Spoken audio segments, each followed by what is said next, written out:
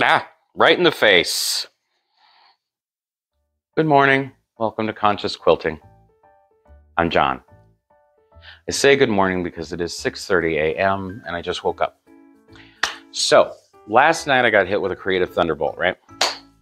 I'm at work, I'm in the batik section, I'm looking and there is this big beautiful bolt of white undyed batik fabric which for some reason was a little more expensive than the undyed stuff, and I'm a little mad about it, but I bought it anyway.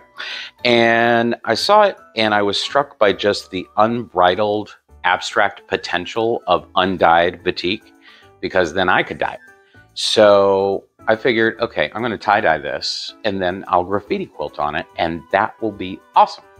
So got the fabric, stopped off on the way home at a certain big box craft store and got myself a little tie-dye kit.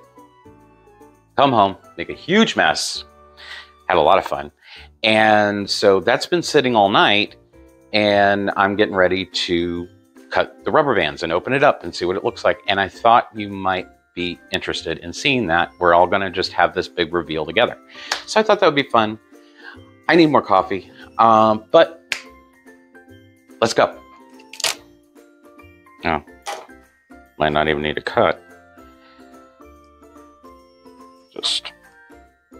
Ah! Okay, we're gonna have to cut. Alright. Yeehaw! Alright. Cutting it's so much more dramatic, but I'm afraid I'm gonna cut the fabric, so. Heck with it. Get off of there. Anybody else talk to their projects while they're working on them? Like a crazy person? Yeah, you do, don't you? You talk to your projects, don't you? of course you do.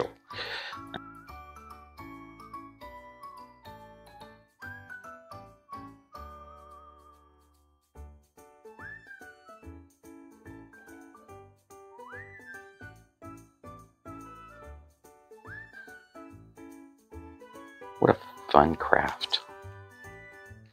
Ah! Right in the face.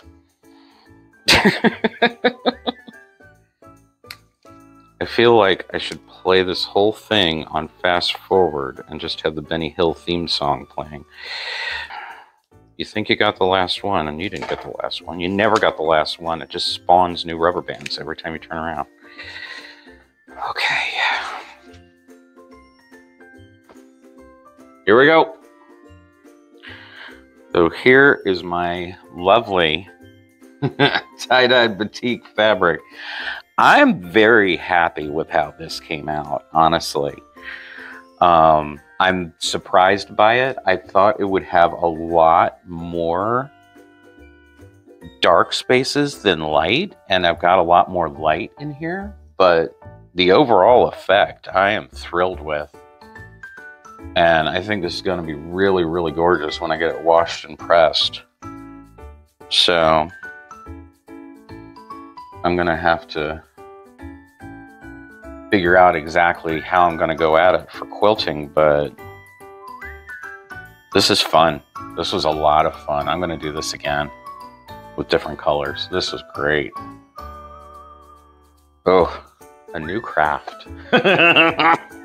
because I didn't have enough going on before this. But this is fantastic. I'm going to turn it. This is great. Very satisfying. Very, very satisfying. I love it. That is really, really cool. Love the color. Very rich. And uh, this was a lot of fun. All right, so there's my reveal. There's my fabric. I'm going to go have my coffee now. Thank you very much.